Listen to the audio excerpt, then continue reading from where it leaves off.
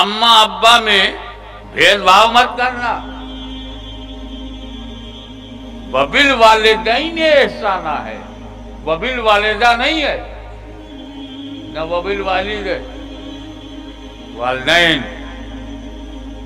तुमको क्या हो गया? है एक तो माँ बाप के वह फर्मा बरदार हो। क्या फर्मा बरदारी? अगर बाप ने मोहब्बत से कुछ कहा और आपने उस काम को कर दिया ये फर्मा बरदारी नहीं है। मीठा मीठा तो सब खा जाते हैं। बाप ने कोई कड़वी बात कही हो, कलेजे को चीर देने वाली बात, उस पर राज़ी हो जाना फर्मा बरदारी है।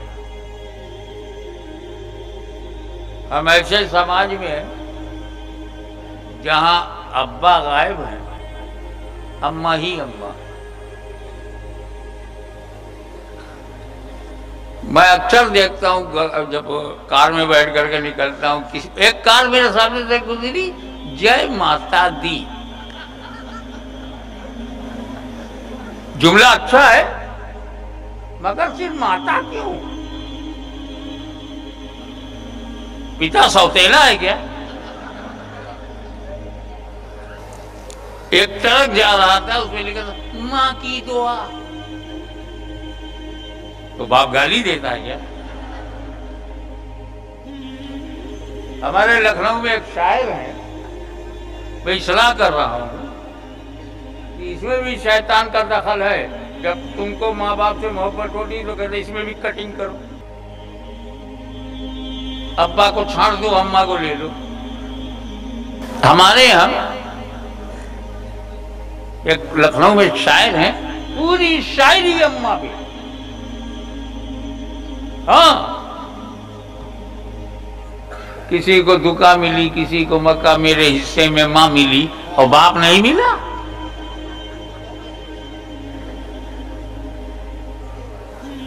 नौजवान गुमराह हो रहा है। सिर्फ़ अम्मा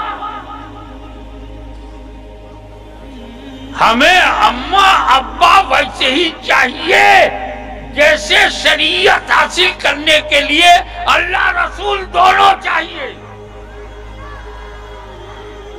न सिर्फ़ अल्लाह, न सिर्फ़ अम्मा, अल्लाह रसूल भी चाहिए, अम्मा अब्बा भी चाहिए। एक फटफटिया लिया। माँ ये घर बनाए। माँ की दुआ। मानता हूँ माँ का हक ज़्यादा है लेकिन बाप की शान ज़्यादा है। अपने बाप को हल्के में मत लेना। बेशक अम्मा सर आँखों पर ये तो मेरा जाती तजर्बा है कि मुझे जो मिला माँ से मिला और जो मिल रहा है माँ से ही मिल रहा है। लेकिन मेरा बाप बाप है, शान वाला है। हल्के में बाप को मत लेना। वो जो बोझ उठा कर तुझे पालता रहा,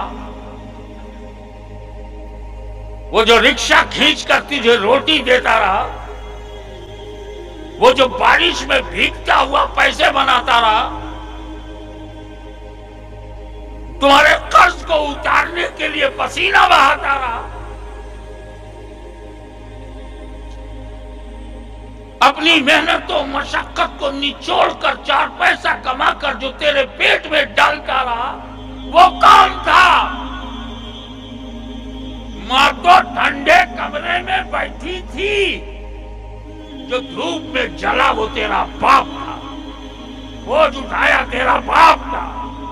मशक्कत किया तेरा बाप था। विदेश गया तेरा बाप था। तुझे रहने के लिए घर दिया तेरा बाप था। तेरे पेट में रोटी डाली वो तेरा बाप था। अपने कांधे पर रखा तेरा बाप था। जिसने नौकरी किया, सैलरी पे सैलरी कमाता था वो तेरा बाप था। न माँ को छोड़ो, न बाप को। वाले गई ने